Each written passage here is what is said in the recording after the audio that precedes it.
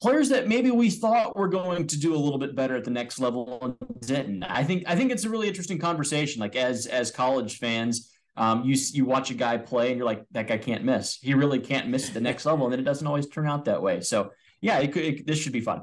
Yeah. So kind of our main topic, you were sort of leading into it there, but our main topic is players that we were wrong about, and this is kind of open ended. I think um, probably the easiest one to talk about are, are the ones that like college players that we expected to hit or to not be good in, in the NFL and and where we were wrong on those. I also went with a few players that I thought would be different in college one way or another than they ended up being. Um Ashton, like I guess you, you were talking you were telling me you kind of went mostly with like players that you expected to um translate the NFL. Um is that kind of where you went with it most mostly?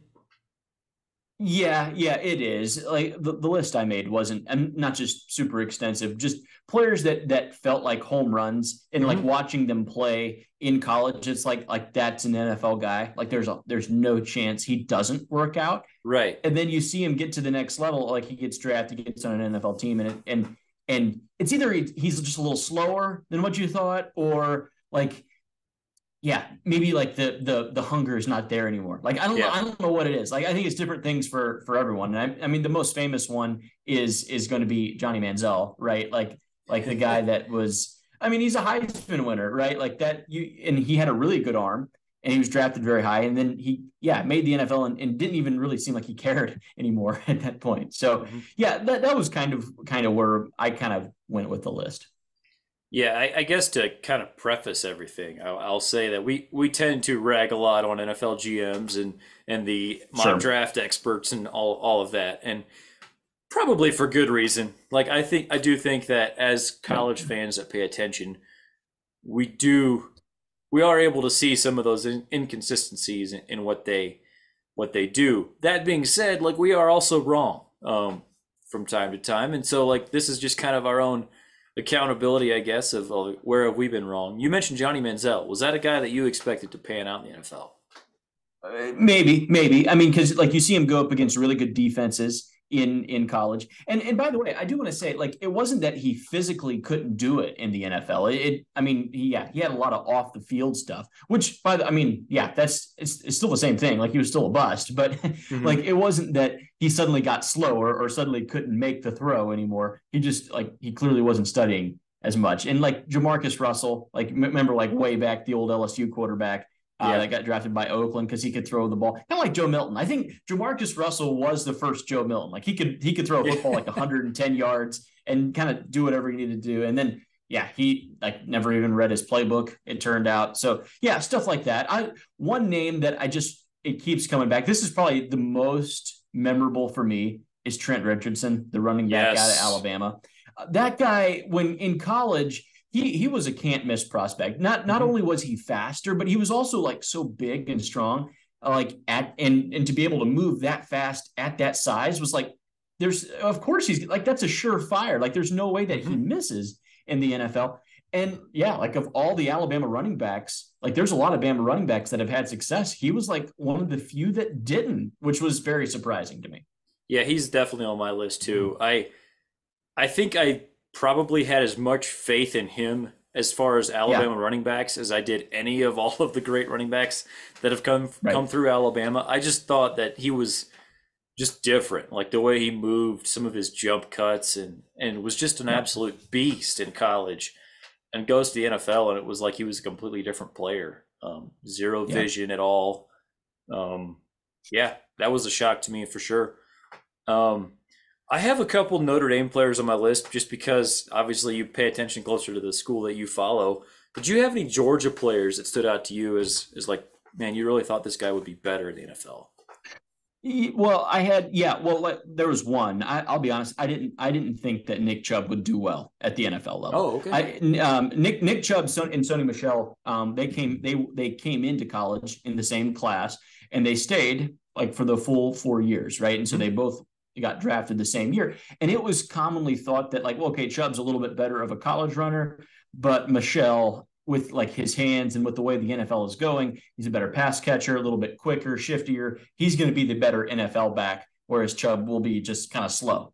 Um, and it turns out like Chubb can absolutely fly. Like he can absolutely fly. And, and so Nick Chubb has, I mean, he's one of the best running backs in the NFL. I think he's the rushing leader a couple of times. So like, yeah. And, and Michel's not had a bad career, but like he's, he's not, yeah, nowhere close to Chubb. And like, that was interesting for me. I, I was just wrong. Like I, I just missed on that one, which is, uh, yeah, it definitely watching them play. It always seemed that way. Like Michel's the more polished NFL back, and that just wasn't true.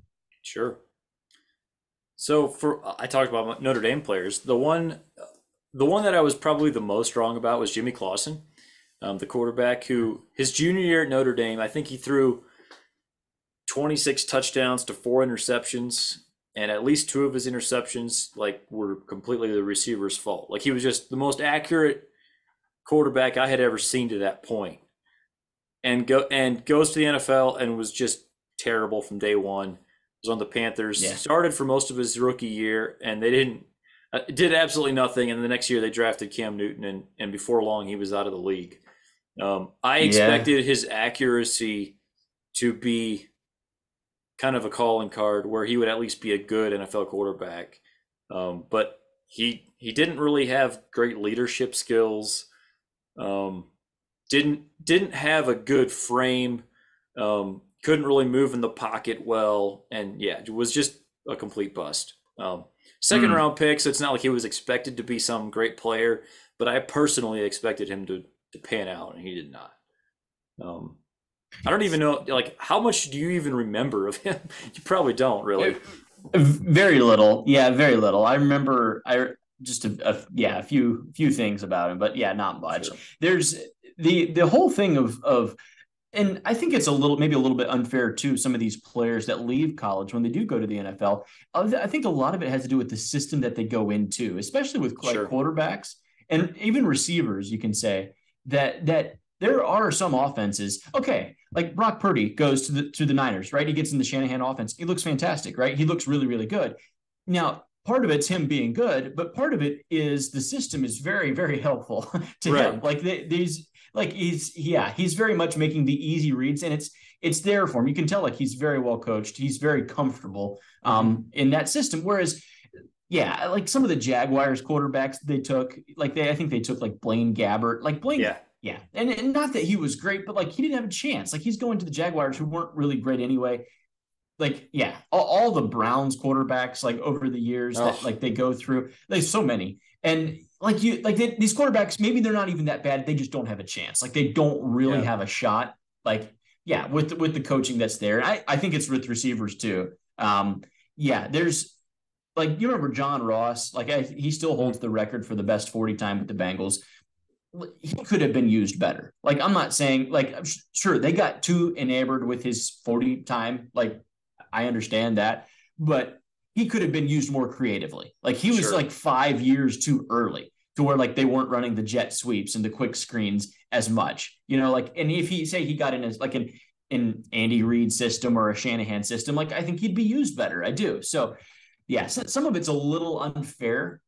Um, just to like just kind of the system. And yeah, there's certain mm-hmm. organizations, and we all know them, uh, that just don't develop, like the Detroit Lions. Uh, yeah, there's it's that's just kind of how it is. Yeah. Another quarterback that I really expected to be great in the NFL, and he he was very good as a rookie. And then you could say it was mostly injuries, but still, I expected more out more out of this guy. Was Robert Griffin III? Um, loved the way he played at Baylor. Threw a beautiful deep ball.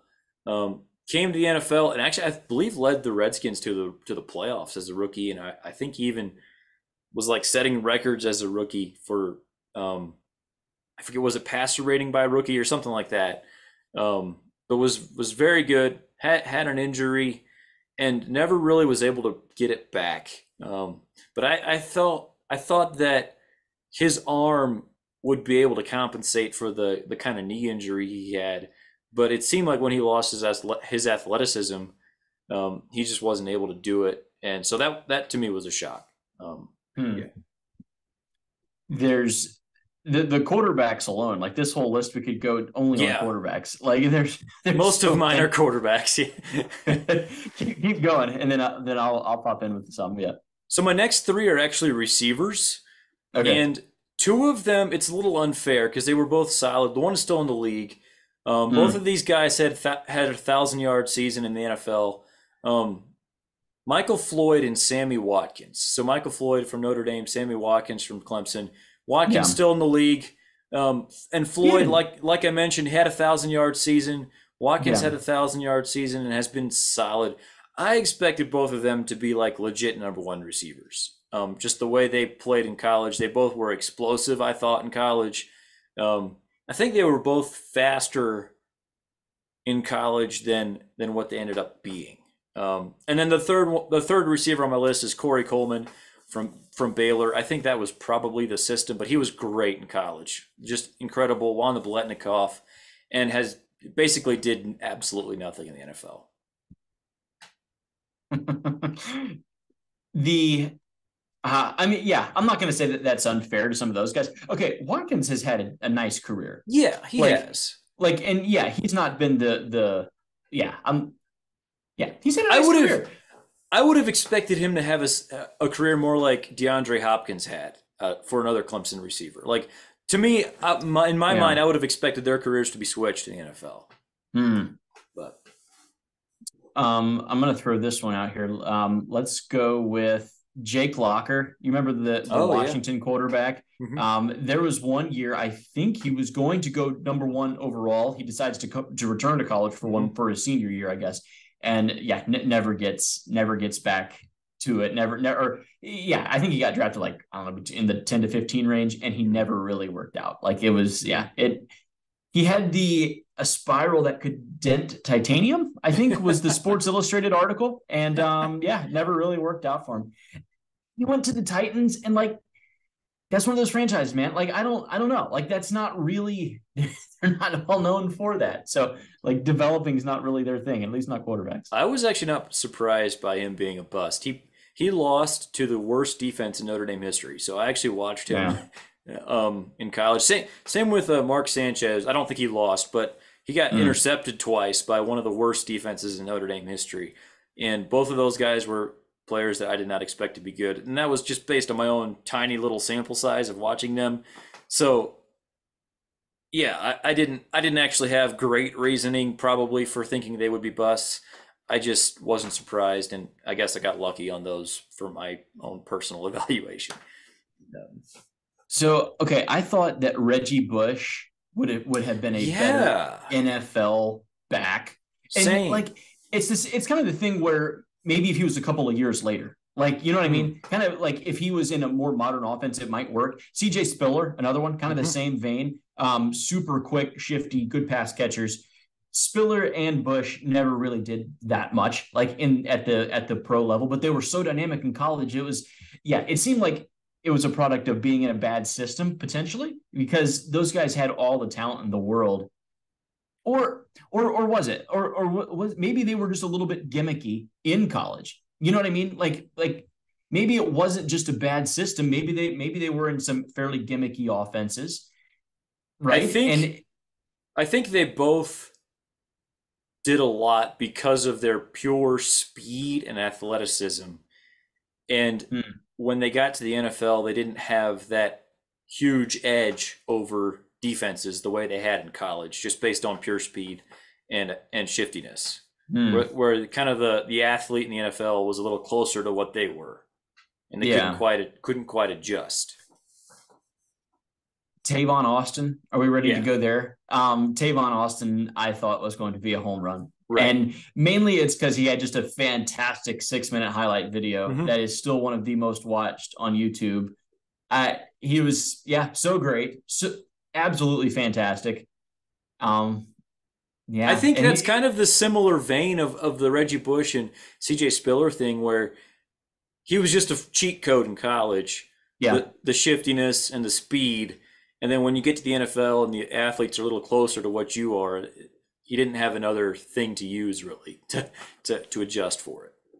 What about and and I won't really I won't really call this one a bust as much, but someone that you saw get nicked up by injuries and never got back to where they should have been or where they could have been. My mind goes to Todd Gurley. Like Todd mm. Gurley with the Rams was going to be like I mean, he already was. He was the best running back in the league for the first, uh, was it three years with the Rams, and then yeah, like he has he he has some some. I think it was I think it was a knee, couple of knee surgeries maybe, and yeah, he cl- clearly was never back. He's he's obviously not been back to where he was. But that guy, if he doesn't have injuries, is I mean Hall of Famer. You know what I mean? Like yeah. he he would have that type of career. Whereas now he had a really good four year stretch Mm-hmm. And that was kind of about it. It like tailed off after that. I, I tend to think that if you get four really good years out of a running back, that's about all you can actually plan on. Like, yeah, you could say the same thing about Ezekiel Elliott, or and, this is where yeah. I'm worried. I'm worried as a Colts fan about Jonathan Taylor, who put up tons of carries in college and has been doing great things in the NFL. But man, like I, how long can that last for running back? It's pretty. It's a pretty rare running back that can really last for more hmm. than about four to seven years. No. Yeah. Yeah. So, so, you think there's just like a shelf life, like just a, a smaller shelf life for like a, an NFL back? Typically. Typically. Yeah. Hmm. Like Arian Foster was that guy for a while, like yeah. for the Texans. You remember, like if you have fantasy football, you know who Arian Foster is. And yeah, that like then it like it just goes away so quick. I was shocked to see Zeke go downhill so fast. Yep. Like this past year, he's not getting any of like the third down touches anymore. You know what I mean? Like he's not he's not the guy that he used to be. It was mm-hmm. shocking. First time that I really noticed, like it was super evident this year. Mm-hmm. Okay, my next two guys on my list that I was just absolutely wrong about, sticking with the quarterback theme, and these guys were in the same draft: Baker Mayfield and Josh Allen. I expected Baker Mayfield to be really good. I expected Josh Allen to be a to be just an absolute bust. and, and and as a as rookies, like I was like I felt like I was confirmed in my thinking on that. And then Baker Mayfield completely tanked after his rookie year, and Josh Allen figured out how to be accurate and read defenses, and here we are. So I, as far, as much as anybody on this list, I think those are probably the two that I was the most wrong about. Did you have a bet I did with your brother. did you? Uh, yep. what, and what what was that one? So we just bet twenty bucks on which quarterback would be better after five years in the NFL. Um, oh, I got you. And at the time we made the bet, Allen was going number one in most mock drafts to the Browns, and I expected him to go to the Browns. And I, yeah, right. I, I'll always wonder like, if Baker Mayfield had not gone to the Browns, if Josh Allen had gone to the Browns, like, how would it have worked out? I don't know. Like, uh. obviously, that's. I'm not going to say that I would have been right. I'm just saying yeah. that it's interesting how that can turn out, um, and it makes you wonder. no doubt. The yes, the it's so yeah, I, I don't even know. Like, I don't even know what causes that. Like, what causes some franchises just to absolutely destroy young quarterbacks. But there's no doubt, like, there's graveyards, certain graveyards for quarterbacks. You know what I think is amazing is how, like, Matthew Stafford stuck at Detroit for that long and mm-hmm. didn't get swallowed up by just the Lions. You know what I mean? Like, there, I think there's so many quarterbacks that just get swallowed up, and then yeah, the second Stafford gets out, he goes to the Rams and wins the Super Bowl the next year. I thought that was kind of funny. Yeah, I have one more on my NFL list that I'm not ready to admit yet that I'm wrong, but I'm ready to admit that there's a chance I will be wrong. It's okay. TBD out there. Daniel hmm. Jones. I did not think Daniel Jones would last, frankly, as long as he has, and for yeah. the first three years of his career or whatever, like I, I was not surprised at all by the way he played. I thought that was about what to expect from him. And then last year, with Brian Daboll coming in there to the Giants, all of a sudden he looked like a competent quarterback. And yeah. and I have to consider the possibility that I could could end up being wrong on that one. He just signed a really long contract, so he's yeah. going to be around for a while. Yeah, no, I I'm not willing to go there yet either. I still mm-hmm. think that you give him two, really just like a really one bad year in New in New York. I think he'll be out. But yeah, no, I I agree. He's he's surprised. We can say that he is sure. surprised. Um, yeah, with the Giants, which I think is kind of a, like kind of a hard place to do it. You know, like in New York for a young quarterback. So yeah, I, that was one that you're just like, wow, I I really missed on because there's no chance that I would have drafted Daniel Jones as a GM. Zero exactly. Do you have any others that are on your list that you were wrong about? The I I was looking through a couple of them. These are some some guys that I didn't think were going to be good at all. And kind of impressed.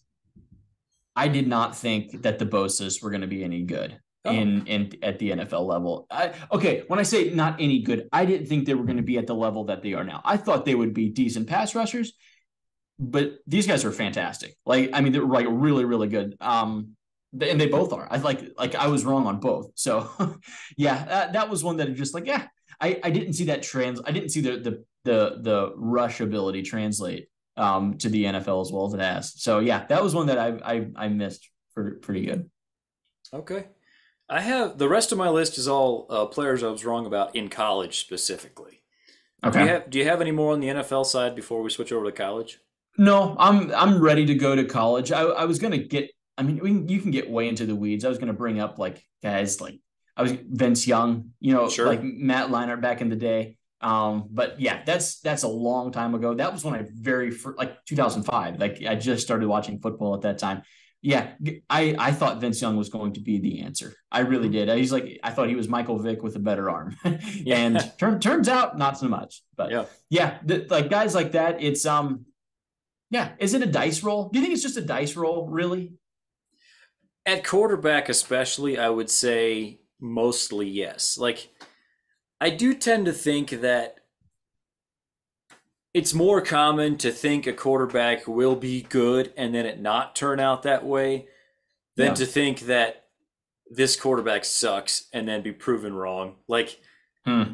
I mentioned Josh Allen and maybe Daniel Jones. Like those are the only guys I could really think of that I was like first round quarterbacks who I think are probably overrated and then they actually maybe weren't. Yeah. And, and Josh Allen is really the only one for sure. Mm-hmm. There's mm-hmm. there's been a number of quarterbacks who went in the first round that I was like, oh, that guy could be pretty good, and then he's not. Um, but yeah, quarter, quarterback is the toughest one. Who from this year, like like for this this this class here, like we've talked about the five quarterbacks um, at length, right? Like mm-hmm. so, like and we we don't really like Lev, Levis or Richardson, and we think that Hendon Hooker's a little underrated. You know what I mm-hmm. mean? And so maybe like Levis comes out and just lights the world on fire. You know what I'm yeah. saying? Like is like there's a possibility that happens, even though like Hendon Hooker was clearly the better quarterback for two full years at Tennessee. He was clearly the right. better quarterback, and no one will really really listen to me when I say that. Maybe they maybe they're seeing things that we're not, and maybe the mm-hmm. Colts mm-hmm. will take Richardson or Levis at four. There's a mm-hmm. chance. Yeah, I mean, those are definitely the obvious options for this year because I think we both feel like Bryce Young and CJ mm-hmm. Stroud will be good quarterbacks. Yeah. And and I guess my personal feeling would be that I think Anthony Richardson and Will Levis will probably never be good starters in the NFL. And Hendon right. Hooker to me feels like a guy who maybe it's a 50-50 shot. Like I don't have a strong feeling on that, but to me I have a I have a better feeling about him having a chance than I do Will Levis for sure and maybe Anthony hmm. Richardson. Um, yeah, I don't know. Like, hmm. do you do you view it, view it differently than I do? What I just laid no. out there. No, no, that's that's that's the same. There's there's definitely a gap after one and two. Like for me, you, you could convince me of Stroud over Bryce Young, like just because he's bigger. Like you could convince me. Like the gap, there's a gap for me, but it's not a huge gap. And then there's a large drop off. Yeah, a large drop off for me. Um, and and I would rather trust my franchise with Hendon Hooker. I would like that would be my guy. If I couldn't get Stroud or or, or Young, I'll go with Hendon Hooker. But you do have to understand that if if Levis or Richardson makes it work in the right place, that's the kind of that's the guy that can get you fired. You know what I mean? Like yeah. that's the guy that could be Patrick Mahomes in two years. Like he could. Yep. Like that's that's the type of talent that that they do have. So yeah, you need. I think you have to take that into account. I think it can be kind of tricky as a GM. Right. Okay, so for some college guys that I was wrong about, the number one guy on the list, not not in terms of like when this happened or whatever, but just the one that I was probably the most wrong about. Stetson Bennett, Georgia's quarterback, who is now oh, a no. two-time national champion. I did not see it. Um, I just didn't see it, and I know we've talked about it at length on this podcast. And I know he had incredible um, players oh. around him, had an incredible supporting cast, about as good as you could hope for. But quite frankly, he balled out the last two years when it mattered, yeah, and I did not see that coming. Um, I, I think I was probably more wrong about him than anybody else. Uh, I was right with you. I I was very very upset that that guy got the nod to start. Mm-hmm. This was the beginning of last year, if you remember. JT Daniels was the starter two years ago for Georgia. Just started out the season against Clemson. He starts. He gets hurt, and we put Stetson in. I I never I didn't understand it. It made me very upset. It very upset because I had seen him a bit before. I had watched him even play high school ball. Like I've watched Stetson for a long time. He's he's yeah, he's born here in my town. Like I I know who he is. Was not a fan at all. Like and I got better. Like like it's okay to say that. Like he got so much better in his time there. And yeah, by the end of it, like the in big games, Stetson Bennett outplayed big time quarterbacks. Like you look at the first rounders, he beat CJ Stroud head to head. He beat Hendon Hooker twice, Will Levis twice, Richardson twice. He beat Bryce Young once. Like, and he won two championships. Like, and he beat those guys to do it. So yeah, I it's okay to be wrong, I guess. Like it is okay to be wrong, but man, that one I didn't see it coming. Just yeah, couldn't have been more wrong there. So switching over to Notre Dame, I I, I have a few for Notre Dame in college that were uh, kind of the, the other way, where I thought they would be. Um, well, no, I have one that was ended up being a positive, and one that ended up being a negative. I'll start with the positive one. Harrison Smith, who has been an All-Pro safety in the NFL for a long time. Yeah. In 2009, Harrison Smith played linebacker on Charlie Weis's last Notre Dame team and became the absolute poster child for missed tackles. yeah. And we Notre Dame fans just could not stand him. I, I remember yelling at the TV over and over and over again because Harrison Smith once again was screwing up somehow. It came to the it was it was to the point where the offense could mess up and we would jokingly blame it on Harrison Smith. That's how bad yeah. it was. The next year, Brian Kelly takes over as their coach. They move him to safety, and he has like seven interceptions, and eventually right. became a first round pick and and a long time Pro Bowl safety. Um, yeah. So that was a guy I did not see him ever even getting close to drafted or even being a good starter in college. And he blew out all expectations that I had for him. I was completely wrong. Um, so that that's a positive story. Um, congrats right. to that guy. Um, the the other side of the equation, um, the other Notre Dame player I'll mention is Brandon Wimbush. Um, and this is where falling in love with a high school recruit's tape, highlight tape, I should say, can be very dangerous. Brandon Wimbush uh, was a borderline five star recruit. Um, they flipped him from Penn State, and, and just watching his high school highlights, it was just ridiculous. Um, throwing and running, just a freak. And you know the the problem is with a highlight tape, you just see the good stuff. Right, right. And he had some good stuff in college for Notre Dame, but you didn't see like the 55% completion percentage or whatever. And and I just expected him to be like the Heisman contender type of quarterback and he was always like kind of a placeholder type of quarterback where he could hmm. run and you could trust him to complete about 50% of his passes. Um, yeah. So I forgot. Yeah, I forgot a lot about Wimbush. He yeah. was the guy there. Yeah, I forgot. You guys were really jacked up about about Wimbush for a while.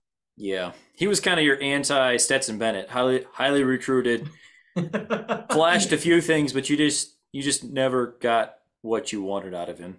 Um, and that's mm. probably because he had undue expectations because we saw the highlights and didn't focus as much on the rest of the tape, probably the way we sure. should have. Sure. What about what about some guys that are like in college now? Yeah, Notre Dame or otherwise I, I had a couple of names just kind of off off the list. Recruits that come in, five star recruits. They they come in and and there's there's a lot there because we get to see these these recruits so much anymore before they actually get to college. You have like the the All American games, like the mm-hmm. the Under Armour game, the the Army game, and and you, they also have like the Elite Eleven for quarterbacks or like the opening. Like you get to watch a lot of these guys before they ever to get, get to college. Julian Fleming, the receiver for Ohio oh, State, yeah. um, the the five star. He's and and it's maybe a little unfair because the guys he's playing there with, but like I expected a lot more from him. He was he was um the one of the no he was he was the top receiver recruit um in his year. This is in 2020 when when he came out. Like he's just kind of he's been eh he's been okay. Mm-hmm. He's been he's been just okay. And and yeah, maybe you expect him just to kind of get there and pop because simply all the all the other receivers that they have there do. Yeah. Um, yeah, there's there's a couple of names that you can look in there and find that guys that should be doing better than what they are. Sure. I the one that I thought of that's still in college is DJ Uiagalelei. And I'm not ready mm-hmm. to stick a fork in him just yet. Like I think he's got a chance to be really good for Oregon State.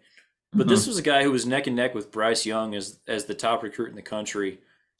Yeah. And and the I should say this as well, not just based on him as a recruit, but based on the way he played against Notre Dame as a true freshman in 2020. Sure.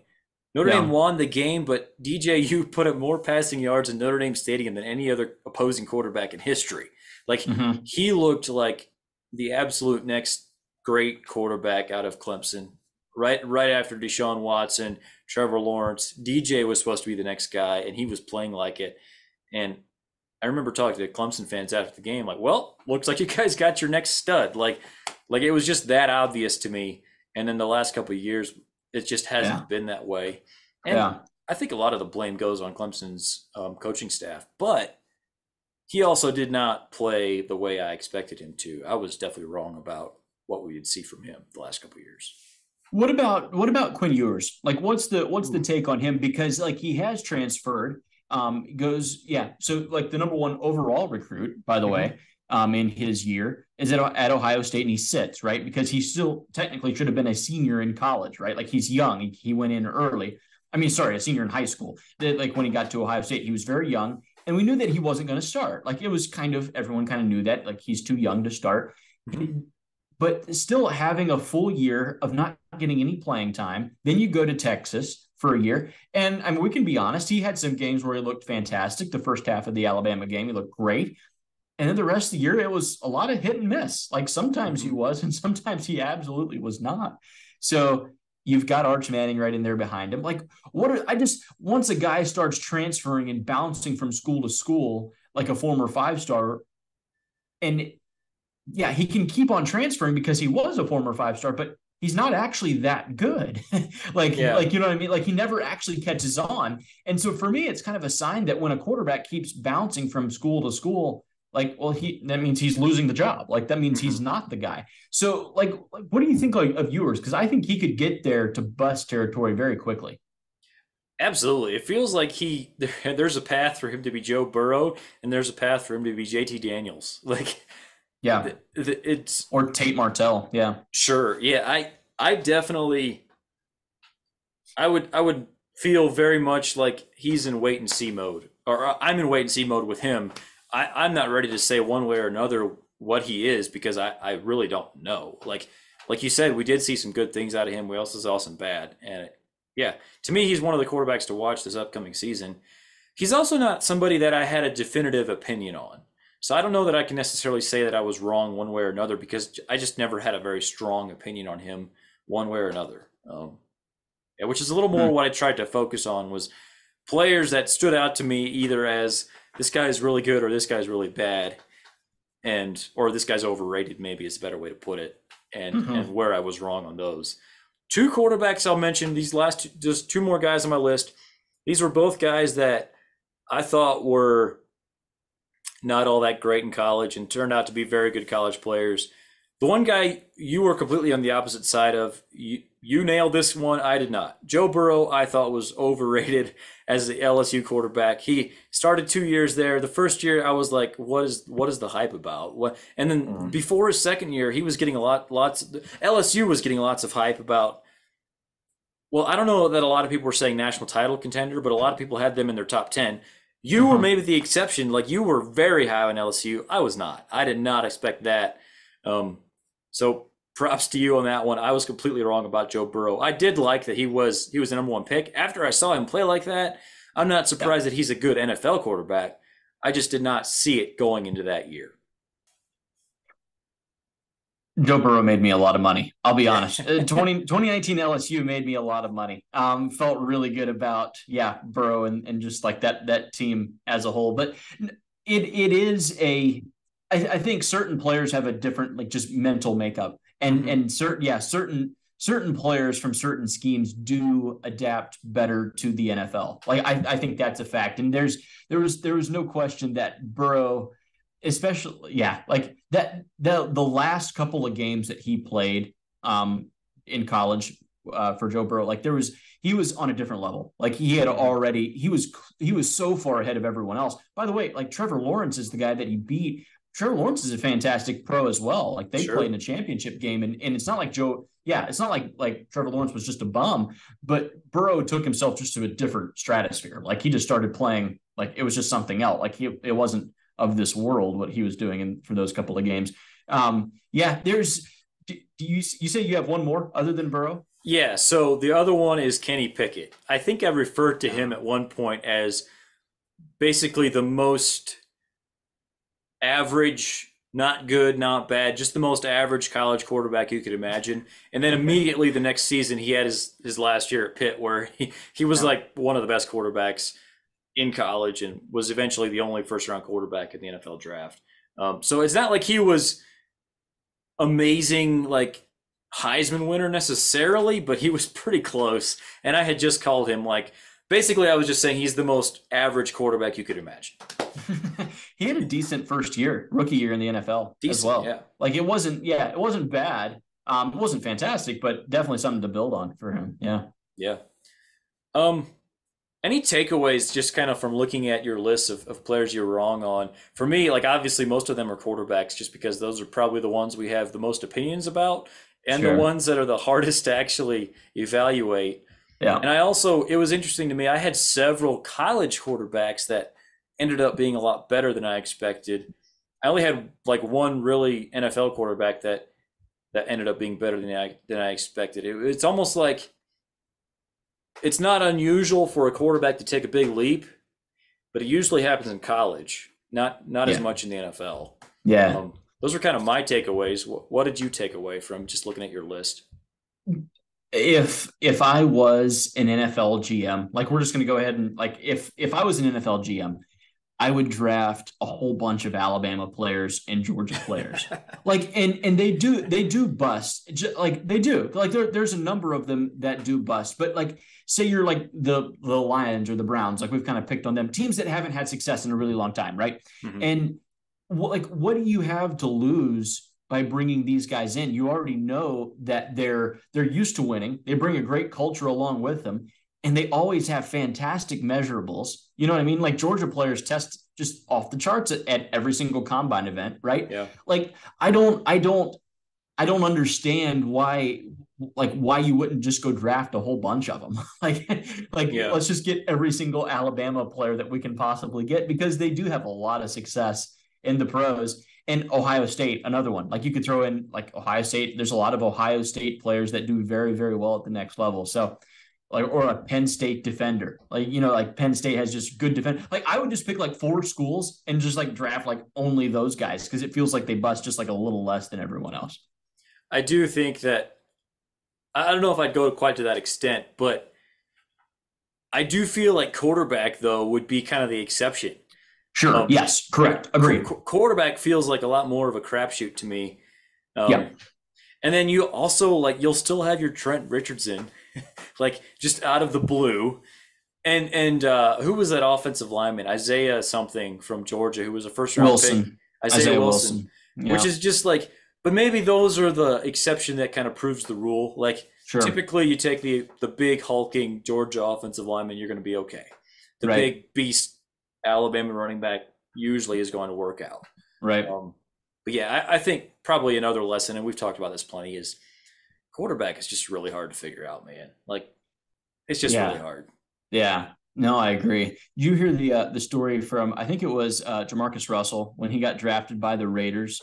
Um, they they gave him a playbook, and I think they they taped like a twenty dollar bill to like the last page, and uh-huh. and like so he's like yeah yeah like he read the playbook like yeah yeah went cover to cover and they're like, "Oh, did you see what was on the last page?" He was like, "Yeah, I saw what was there." And they're then they like asked for the money. He like he didn't know there was money on the last page because he, he, hadn't read the playbook. Like some of it, some of it's not just measurables. Like sure. I think, especially like with quarterback, like there's so much, and and the decision making too is I think just crazy. I think decision making. If you can get a guy that's a very quick like he just has an exceptional like release of the football, and he makes like quick decisions. I think that translates the best. And I don't I don't know if you can really even quantify like how quick someone's decision making is all the time. So, yeah, it's I, Trevor Lawrence not not surprised at all that he's having success. Justin Fields may be a little bit more surprised. Sure. Like like they're both kind of the yeah, they both have fantastic arms. It was just I didn't yeah, I didn't know I didn't know that Fields would still be able to do that. I I'm a little surprised actually that Field isn't better. I don't know if that's maybe you were thinking the opposite way. Yeah. I I'm shocked at how it seems like he lost accuracy in the NFL um, compared to what he was in college. And hmm. I still have hope, like because I mean the Bears clearly they they just picked him over Bryce Young and C.J. Stroud, who they could have had with the number one pick. They're choosing yeah. to believe in him. And I think they might have something there. Like I, I really do think he might end up being pretty good. I don't so, know. But so he's going to be the first Ohio State quarterback to ever be any good in the NFL, pretty much, is what we're saying. Maybe, but I, I think that's such an overrated thing. Like, I, I just, especially at quarterback. Mm.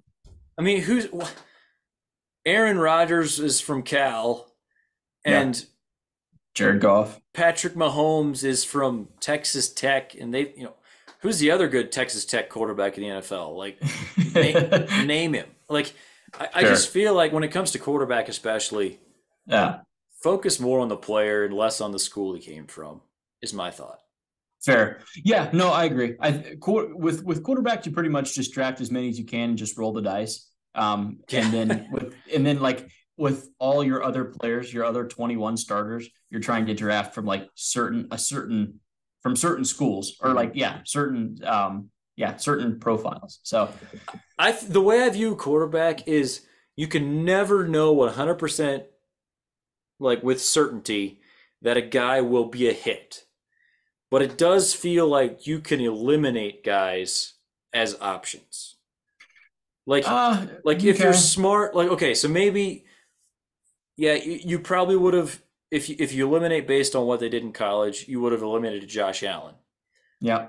But he again, I think he's the exception where most of the guys that were not good in college, if you eliminate them from first round consideration, you're improving your chances at least. There um Josh Allen's going to get a lot of NFL GMs fired I think, yes. and it's because they're going to be trying to find the next one. Um, they're going to yep. be, yeah, everyone's going to be trying to find the next, uh, the next gunslinger. Yeah, like him or Mahomes. Mm-hmm. Yeah, no, agreed. There's, there's, there's no exact science to it.